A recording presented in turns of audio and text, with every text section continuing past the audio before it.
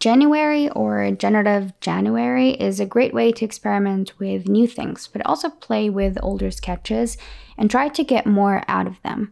Whenever I feel overwhelmed with too many new ideas, I find it comforting to go back to something I know really well and find new ways of presenting it.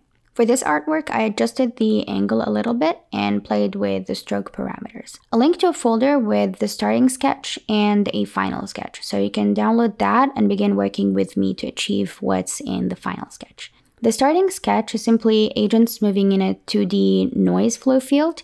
You can find videos where I talk more about noise-derived flow fields on my channel, a link to one in the description and the cards on the top right corner of this video. Now, the biggest change here is the vortex or curl flow field that we are going to add on top of our original flow field. I got the curl flow field approach from this amazing video about flow fields in general. A link to it in the description, of course, so you can check it out. For now, let's start by adding a new angle. I'll simply call it angle 2, and that will be the angle between each of the agent's x and y position and the point you want to curl around. I'll start with the center of the canvas, so half of the width and half of the height. And the way you can get the angle is using the inverse of tangent. In processing, that is atan 2, or that's what the method is called. There is an atan also, but it's more limited and takes in one argument, so atan2 is your go-to. This method takes two arguments, y and x in that order. And because we want the angle between two points, we need the length of the lines between the desired curl point and our agent's position that are basically our adjacent and opposite sides of a triangle. There is a great video that explains arctangent in detail that I'll link to in the description from the Coding Math channel. The first argument is going to be height divided by 2 minus position.y, and the second is width divided by 2 minus position.x. If I use this instead of the original angle, I'll get a vortex, and the rotation's direction for that is determined by adding or subtracting half pi from the angle. But I started this video by saying I'll add the new angle to the old one. So what I'm going to do instead is add the original angle to the y position's angle only. And instead of having the curl point as the center of the canvas, I'll make it random for each run I'll initialize two variables called curl x and curl y globally and define them in the setup function. Now here instead of the center of the canvas, I'll use curl y and curl x.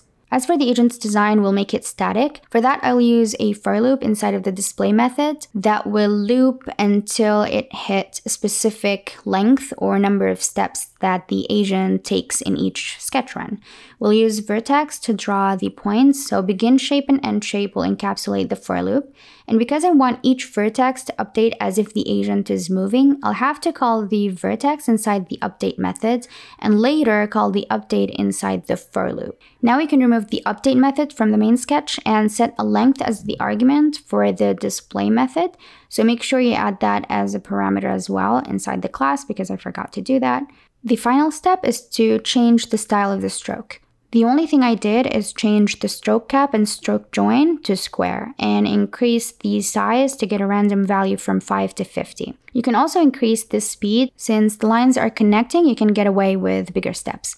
Now for the second to last thing I want to mention is a quick explanation of the bounds method since I implemented it into my original sketch.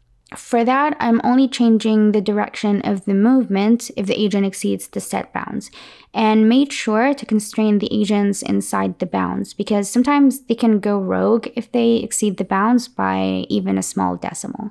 And finally, you can also implement collision detection. I didn't add collision detection to any of my sketches, so I'm not going to explain it here, but there is a sketch file by Daniel Shiffman that I'll link to in the description that you can understand from how collision is detected between the agent and its previous steps and every other agent in the main agents array. And that's it. It's only adding a few changes to an old sketch that you might have right now that created a whole new look. I hope you enjoyed this video and got something out of it, and I'll talk to you soon.